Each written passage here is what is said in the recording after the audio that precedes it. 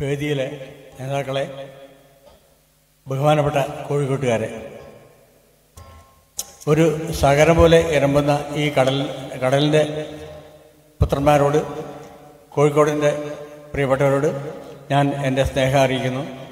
ഇത് ഒരു ചെറിയ കവിതയാണ്. ഈ കവിത ലോകത്തിനോട് വിശ്വത്തിനോടുള്ള ഒരു പ്രാർത്ഥനയാണ്. നിങ്ങൾ ഒന്ന് അനങ്ങൂ. നിങ്ങൾ എന്തെങ്കിലും പ്രവർത്തിക്കൂ എന്ന് പറയാനുള്ള ഒരു പ്രാർത്ഥന.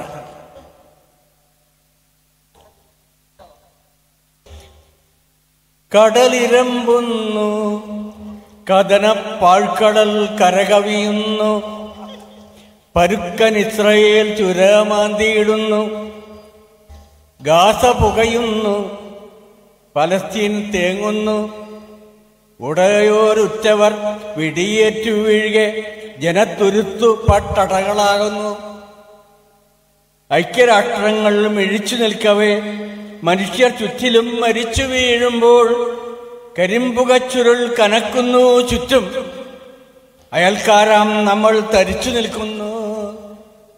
അയൽക്കാരാം നമ്മളും തരിച്ചു നിൽക്കരുത് നിൽക്കുക നിൽക്കരുത് എന്നാണ് ഞാൻ പറയുന്നത്. കരിമ്പുകച്ചുരുൾ കനക്കുന്നു ചുറ്റും. അയൽക്കാരാം നമ്മൾ തരിച്ചു നിൽക്കുന്നു. അടുത്തവരെല്ലാം മരിച്ചു നിൽക്കും അടിച്ചു നിൽക്കുന്നു. അടിച്ചിറക്കുവാൻ കരുത്തു പോരുന്നു. നമ്മൾ മനുഷ്യരോ കാട്ടുമൃഗങ്ങളോ കല്ലോ.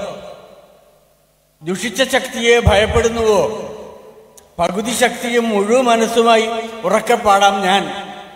എനിക്ക് പകുതി ശരീരവും മുഴുവൻ മനസ്സേ ഉള്ളൂ. എനിക്ക് പാടാം. എങ്കിൽ നമുക്ക് എല്ലാവർക്കും പാടാവുന്ന ദുഷിച്ച ശക്തിയെ ഭയപ്പെടുന്നുവോ? പകുതി ശക്തിയും മുഴുവൻ മനസ്സുമായി ഉറക്കപ്പാടാം ഞാൻ.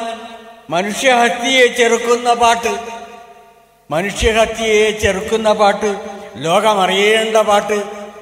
കടലിരമ്പുന്നു കഥനപ്പാഴ്ക്കടൽ കരകവിയുന്നു പരുക്കൻ ഇസ്രയേൽ ചുരമാന്തിയിടുന്നു ഗാസ പുകയുന്നു പലസ്തീൻ തേങ്ങുന്നു. ഉടയോരുറ്റവർ വെടിയേറ്റു വീഴുകെ ജനത്തുരുത്തു പട്ടടകളാകുന്നു.